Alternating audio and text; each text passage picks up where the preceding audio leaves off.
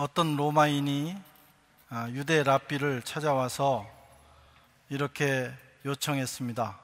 당신들은 아, 늘 만나면 하나님 얘기만 하고 살아가는데 그 하나님을 나에게 좀 보여주시오. 내가 그 하나님을 본다면 나도 그 하나님을 믿겠어. 그때 랍비가 이 로마인을 데리고 밖으로 나갔습니다. 그리고 장렬하는 태양을 가리키면서 저 태양을 당신의 눈으로 직시해 보세요. 당신의 눈으로 저 태양을 똑바로 볼 수 있으면 나도 하나님을 가르쳐 드리겠어. 볼 수 있게 해 드리겠어. 로마인이 시도를 해 보니까 1초도 바라볼 수 없는 거예요.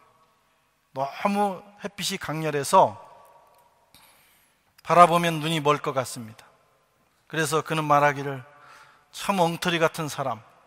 사람이 어떻게 저 태양을 똑바로 볼 수 있단 말이요. 말도 안 되는 소리 하지 마시오.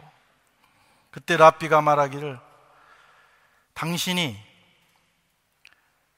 하나님이 창조하신 그 많은 피조물 중에 지극히 작은 것 하나, 그 태양 하나도 똑바로 볼 수 없는데 만물을 창조하신 전능자 하나님을 당신이 어떻게 볼 수 있단 말이요.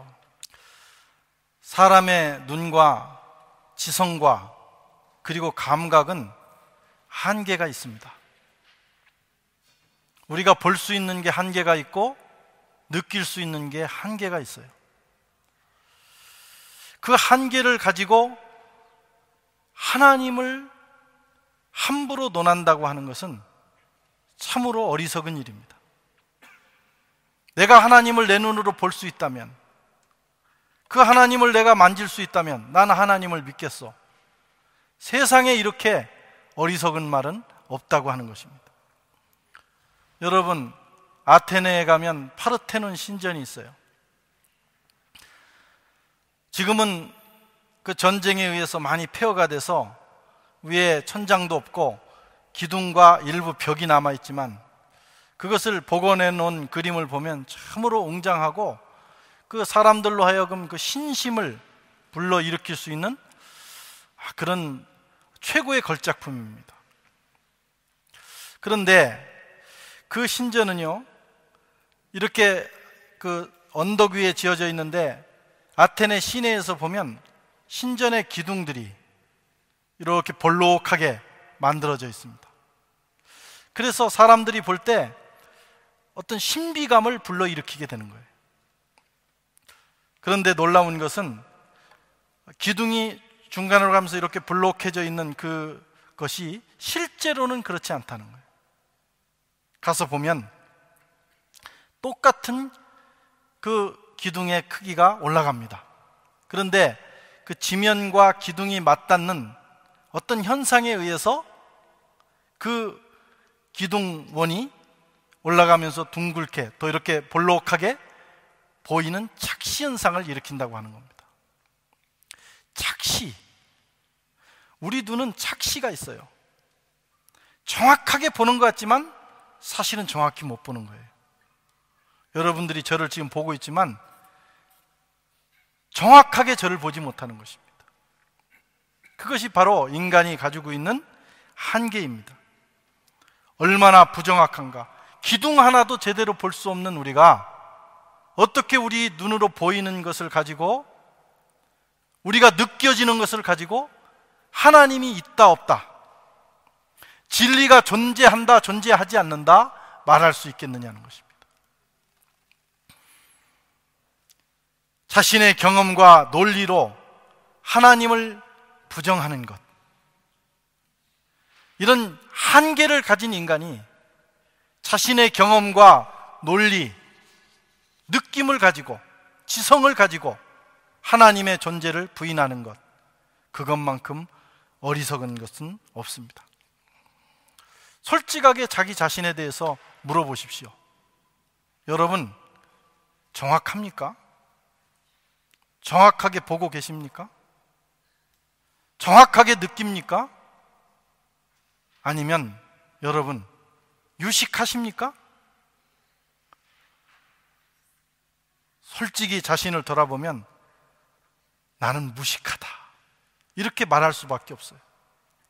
여기 혹시 박사님들이 계실지라도 그 박사님들도 자기 분야에서 분야 중에서도 자기가 논문을 쓰고 연구하는 그 분야에 깊이 들어가 specialist가 됐을 뿐이에요. 한 chapter만 넘기면 무식합니다. 어? 모른다 이거예요. 우리 목회자들은 어려서부터 신학을 공부하고 성경을 공부하고 지금까지 50이 넘도록 그 분야에 대해서 책을 봅니다. 그래서 나름 이 분야에 대해서는 일가견이 있다. 그러나 한 단계만 넘어가면 저도 무식해. 경제, 정치, 문화, 역사, 예술 무식합니다. 신학도 자기 분, 전문 분야가 있어요. 구약이냐, 신약이냐, 역사냐, 실천이냐. 그 안에서도 또 세부적으로 들어갑니다. 그 분야만 조금 알 뿐이에요. 이것이 인간입니다. 그래서 괜히 나는 유식하다라고 생각한 나는 다 안다. 내가 논리적으로 이성적으로 받아들일 수 있는 것만 존재한다. 말하는 것은 진짜 무식한 거예요. 자기가 무식하다는 사실을 모르는 무식함이 거기에 있어.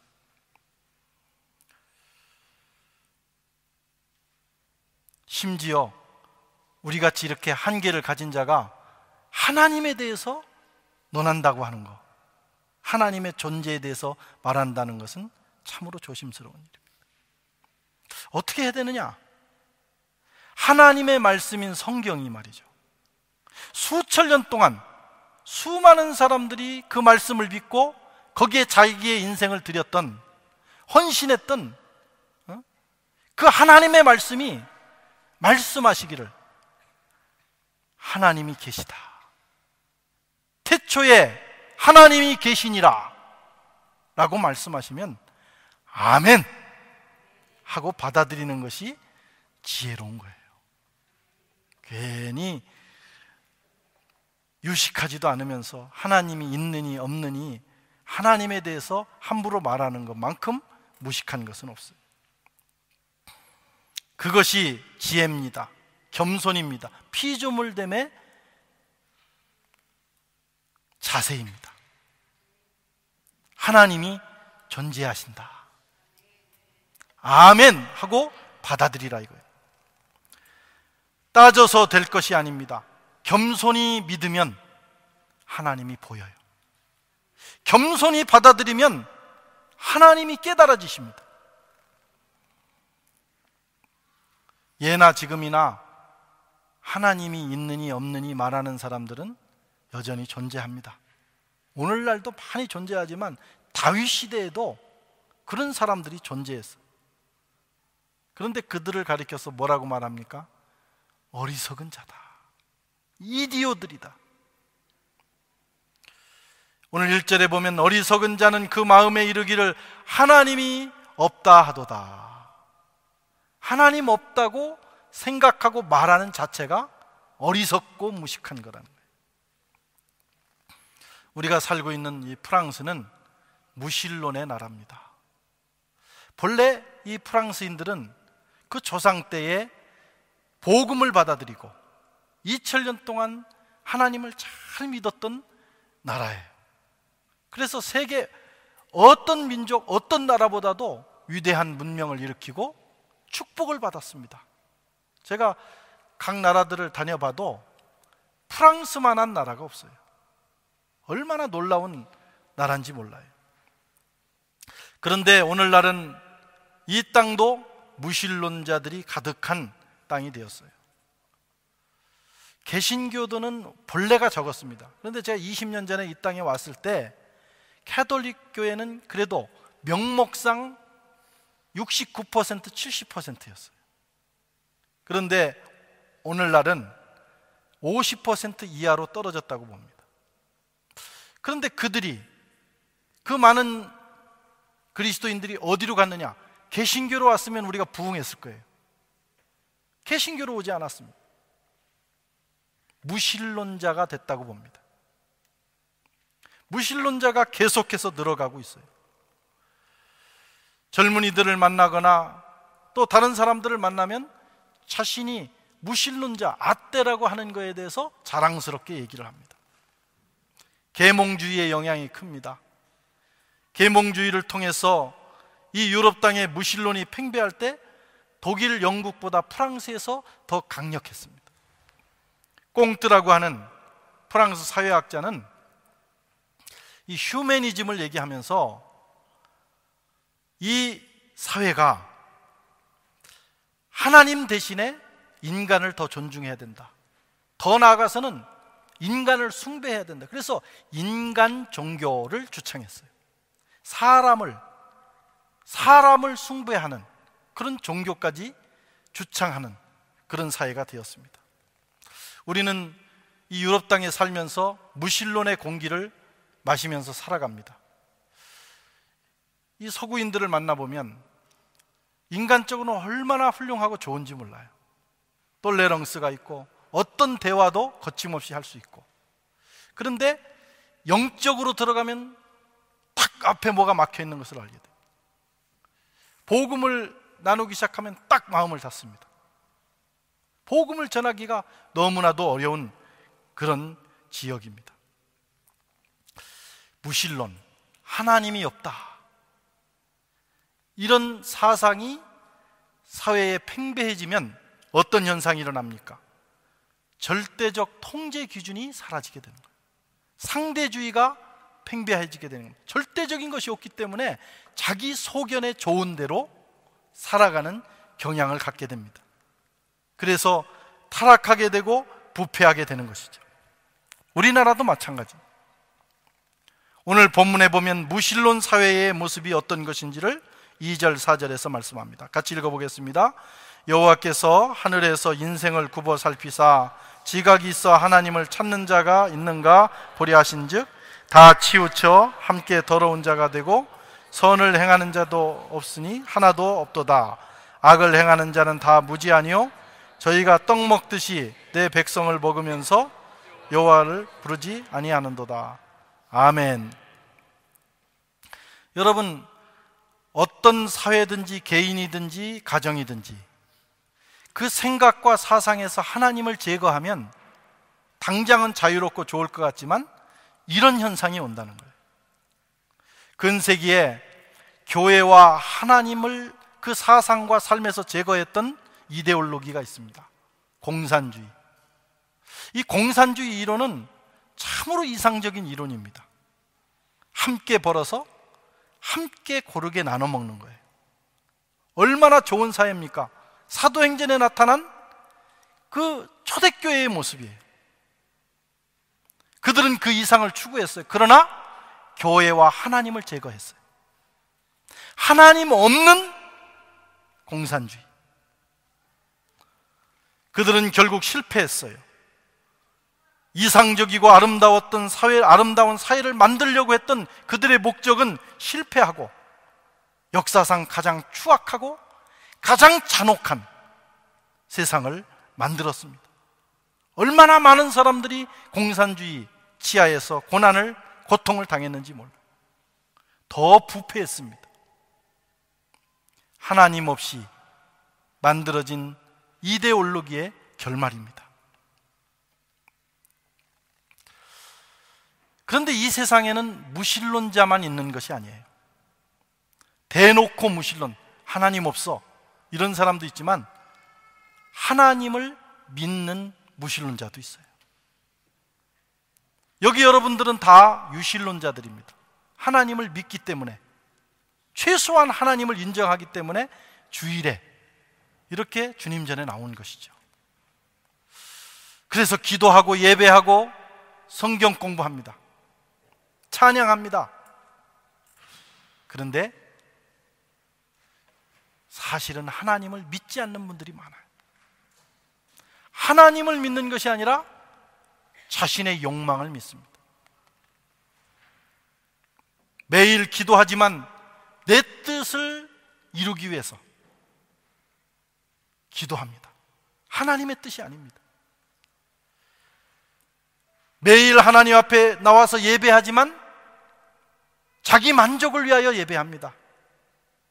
하나님을 나를 위하여 이용하는 거예요. 하나님을 믿지만 그들의 삶과 생각에는 하나님이 없어요. 내 뜻이 있는 거예요. 이것이 뭐냐? 유실론적 무실론이에요. 그리스도인 가운데는 그런 사람들이 참 많이 있습니다. 기독교 무신론의 아버지라고 하는 현대 기독교 무신론의 아버지라고 하는 포이에르바흐라는 학자가 신학자가 있습니다. 저는 처음에 신학교를 어, 가기 위해 서울에 올라갔을 때 제 사촌 형님이 이 책을 저에게 선물했어요. 이걸 보고 신학교를 가라. 아마 그 책을 제가 어, 읽었으면 신학교를 안 갔을지도 모르겠어요. 그런데 입시 준비가 바빠가지고 이거 들어간 다음에 읽지 그러고는 읽지 않았습니다. 참으로 다행스러운 일이죠. 그 형님이 본래는 아주 신앙생활을 잘 하던 분이었는데 대학에 들어갔는데 어, 불교 계통의 어느 대학인데요. 들어가신 다음에 신앙을 버렸어요. 그 학교 때문에 버린 것 같지는 않아요. 저한테 그 책을 권한 걸 보니까 아마 그 책을 읽고 신앙을 버렸던 것 같아요. 기독교의 본질. 그 책의 내용이 뭐냐면 이 포에르바하가 서구 기독교와 그리스도인들을 보니까 열심히 교회도 나가고 성경 공부도 하고 봉사활동도 하고 신앙적인 모습을 다 가지고 있는데 가만히 보니까 종교적인 행위를 하는데 하나님은 안 믿더라는 거예요. 물론 하나님을 믿기 때문에 기도하고 몸부림을 칩니다. 예배드립니다. 그런데 그 하나님이 성경이 말하는 하나님이 아니라는 거예요. 자기들 마음속에 있는 욕망을 형상화시켜서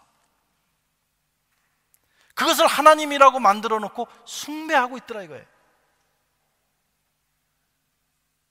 하나님을 위해서 자기를 희생하는 사람들이 아니라 자기 욕망을 위해서 하나님을 이용하는 사람들이에요. 하나님 없다. 그는 그렇게 선언했어요. 니체도 마찬가지예요. 여러분은 하나님을 믿고 계십니까? 정말 믿고 계 성경이 말씀하는 정말 살아계신 하나님을 믿고 있느냐? 아니면 내가 원하는 하나님. 그래서 가끔은 내가 원치 않는 하나님이 계시기에 그걸 제끼는 거예요. 나는 저런 하나님을 믿을 수 없어. 내가 원하는 하나님. 나를 위로해주고, 내 뜻대로 해주고, 내가 원하는 것을 해주고, 오냐오냐 해주고 내 인생의 비전을 이루어 주시는 하나님이냐? 아니면 여러분 하나님의 비전을 위해서 내 인생의 비전을 희생시킬 수 있는 그 하나님이냐? 여러분 어떤 하나님을 믿고 있습니까?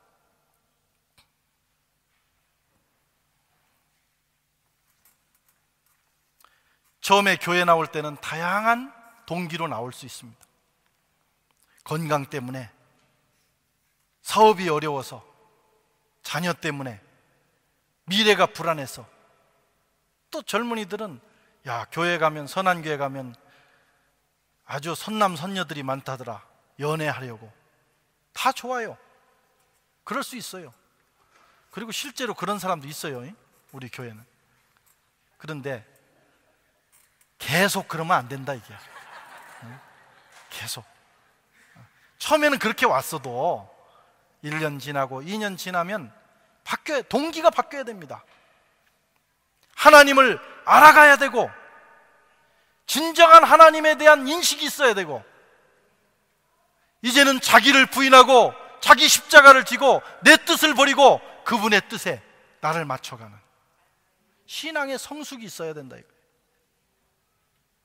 세상 사람들이 우리를 보면서 야, 하나님 정말 살아계시다. 그렇게 하겠는가? 에이, 선한 교회 교인들 보니까 하나님 없어! 이렇게 말하겠는가? 우리가 한번 돌아보아야 합니다.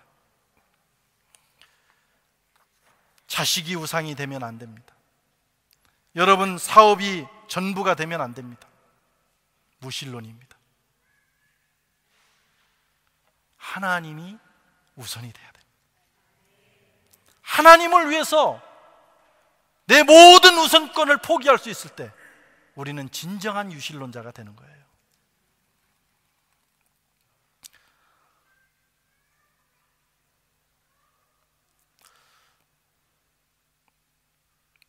정말 하나님을 믿는다면, 정말 하나님의 존재를 인정한다면, 정말 하나님의 살아계심 앞에 살아간다면 변화가 일어나게 돼 있어요. 변화. 왜 교회를 5년, 10년을 다녀도 안 변하냐 이거야. 안 변하는 이유는 내가 원하는 하나님을 내가 만들어 놓고 우상 숭배하기 때문인 거예요. 정말 살아계신 하나님. 어? 내가 인정하든 인정하지 않든 만세 전부터 살아계셔서 지금까지 그리고 영원토록 살아계시는 그 하나님을 우리가 믿고 그 앞에 선다면 우리의 인생이 무섭게 변하게 돼 있어요.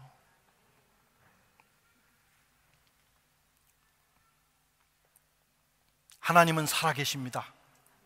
우리 모두 그 하나님 앞에 설 수 있기를 바랍니다. 여러분, 무신론자들이 하나님이 없다고 우긴다고 하나님이 아니 계시는 건 아니에요. 하나님은 그럼에도 불구하고 변함없이 존재하십니다. 그러다가 참으로 하나님을 신실하게 믿는 자들의 삶에 또는 하나님을 거부하고 하나님 없다고 하는 자들의 삶에 하나님이 개입하실 때가 있어요. 오늘 본문은 그때 무신론자들의 모습을 이렇게 표현하고 있어요. 5절에 저희가 거기서 두려워하고 두려워하였으니 하나님이 의인의 세대에 계심이로다. 하나님이 살아계심을 드러내기만 하면 이 무신론자들 하나님이 없다고 하고 하나님이 없으니 내 주먹을 믿어라. 세상에 믿을 것이 없어 하나님을 믿느냐? 하던 그 사람들이 당당하던 사람들이 하나님의 살아계심이 조금만 나타나면 두려워 떨게 된다는 여러분 우리 주위를 조금만 겸손한 마음으로 돌아보면 하나님이 살아계신 근거가 그런 증거들이 수도 없이 나타납니다. 그리고 하나님은 그를 순종하는 자에게는 은혜를 그가 없다고 하는 자들에게는 언젠가는 따끔한 맛을 보여주셔요. 따끔한 맛. 그러면 그래도 정신 차린 사람은 하나님 앞에 돌아오고, 그래도 죽을 길로 가는 사람은 끝까지 하나님을 거부합니다. 저한테 그 책을 주었던 우리 형님이 어? 어느 날 암이 걸려버렸어요. 참 이 암이라고 하는 것은 상당한 능력이 있습니다. 무신론자를 유신론자로 바꿔버리는 거예요. 암이 탁 걸려가지고 죽을 병에 걸렸는데 그때 제 여동생이 어느 치유 사역자를 데리고 가서 병원에서 기도를 했어요. 급하니까 기도를 받았습니다. 근데 놀라운 것은 치유가 일어났어요. 30년이 지났는데 건강하게 살아 계십니다. 제가 작년에도 가서 만났어요.